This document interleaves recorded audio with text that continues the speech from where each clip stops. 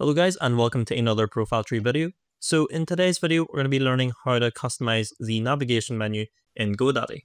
So once you are on the actual GoDaddy website builder itself, all we need to do now is create the site navigation. So currently we don't have anything here uh, just because we only have the home page, but we'll change that. We'll add a service page, we'll even add a contact page and we'll even do like an FAQ or if not the FAQ, we'll do the blog. So fairly straightforward.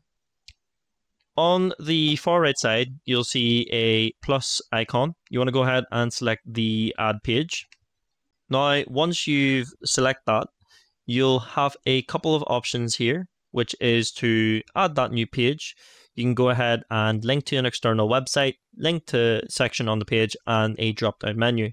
Now, depending if you do have let's just say services for the navigation, um, or let's just say you have uh, a list of different services for the business. Uh, for us, it'll be digital marketing, SEO, video production, web design.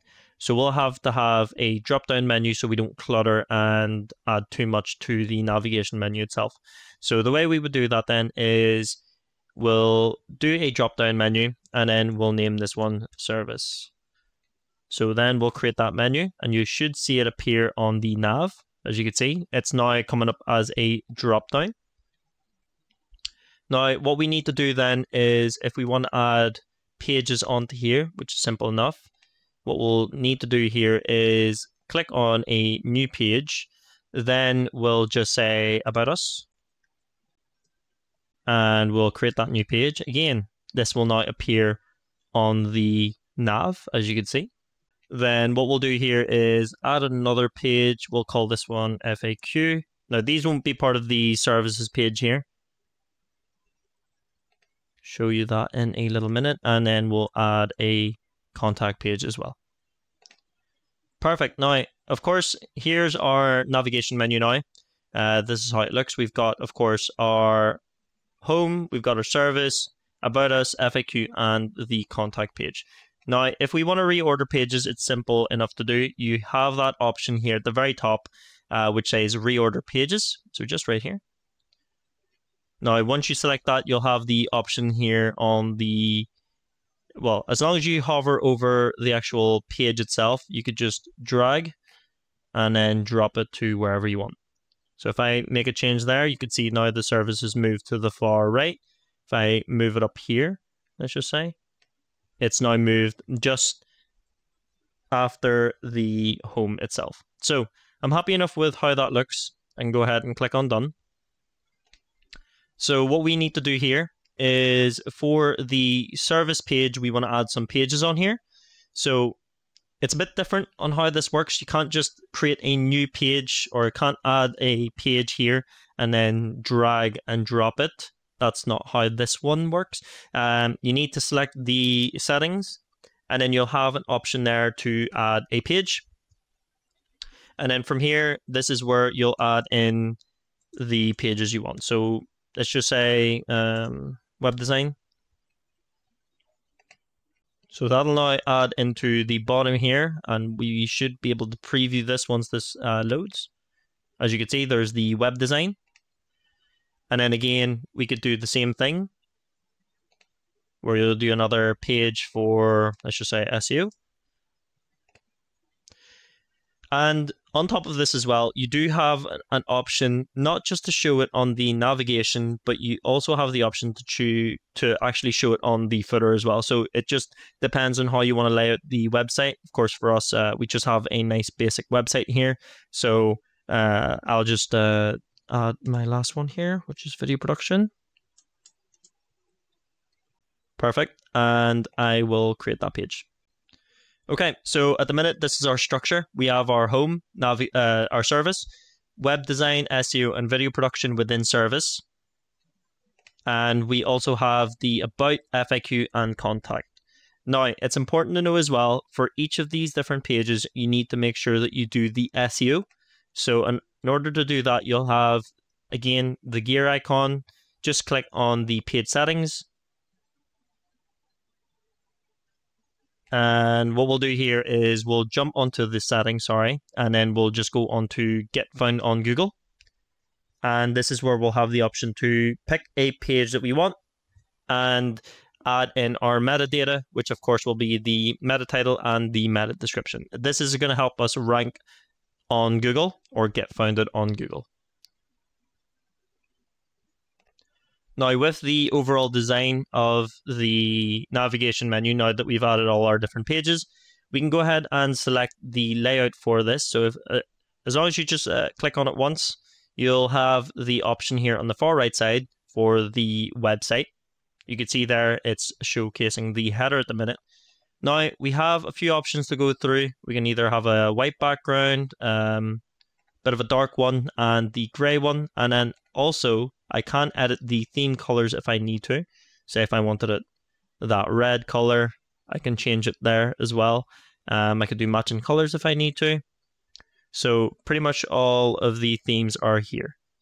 Um, but our focus, uh, our main focus is actually changing the background here. So that's the nice blue purple background there.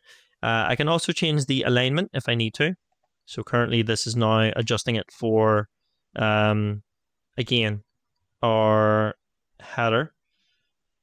Now, if I just go to the site navigation again, just go into the theme, I'll have the option then for the buttons. Let's see what we have here. Again, I can change the colors if I need to.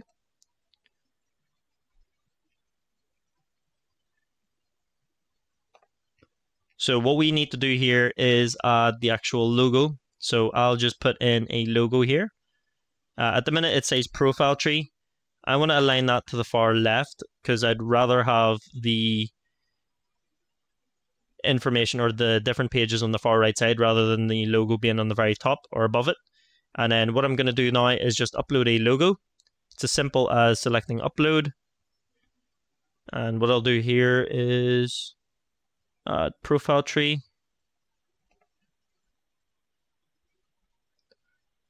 So that'll just upload the file. All I need to do now is just select insert.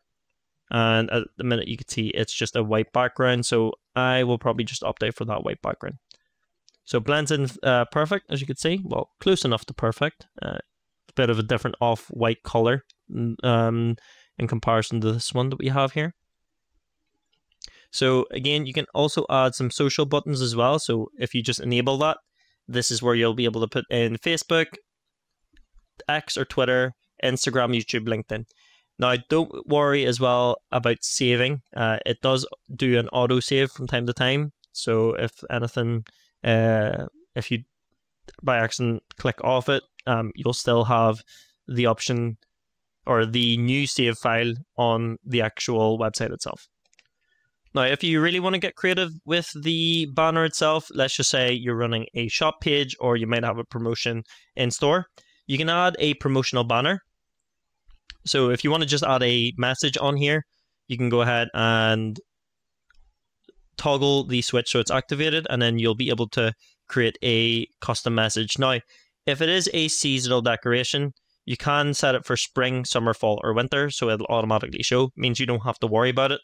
And uh, of course, once that season's done, then you could just remove it. You do also have the option to add a link. So this could be uh, adding a link to a website URL, a phone, or email. Uh, you can even link it to a page. And of course, it'll be the section of the top page. So we're happy enough with that. Um, let's just say contact now.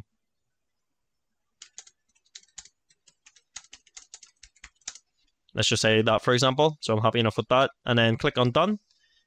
And for this background, we'll keep it, uh, let's see, for the promotional banner.